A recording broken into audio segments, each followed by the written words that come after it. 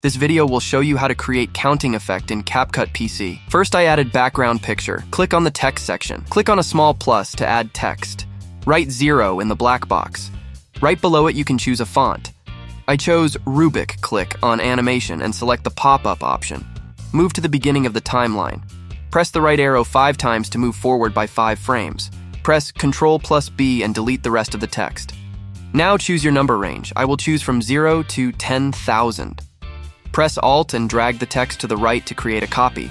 Rewrite the 0 to a slightly larger number. Repeat this about 10 times. The more you are in the middle of your number range, the bigger jumps in numbers you can make. And towards the end, shorten the gaps between numbers again. Make the last number a little longer so it doesn't disappear right away. Now select all the numbers and you can change their color to green, for example.